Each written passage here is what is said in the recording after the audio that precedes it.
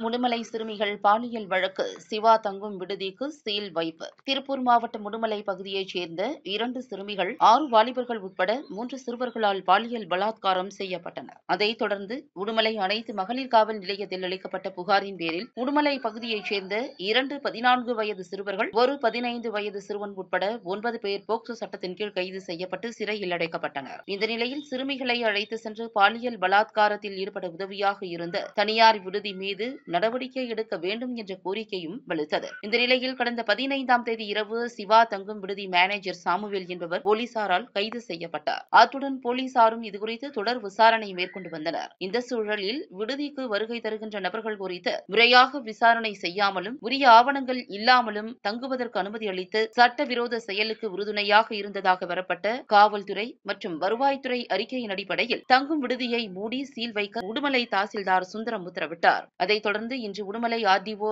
Jashwanth Kannan tahsildar Sundaram police துணை superintendent Sukumaran மண்டல துணை தாசில்தார் சந்திரசேகரன் வருவாய் ஆய்வாளர் சரவணகுமார் கிராம நிர்வாக அதிகாரி உள்ளிட்ட அதிகாரிகள் விடுதிக்கு சீல் வைத்தனர்.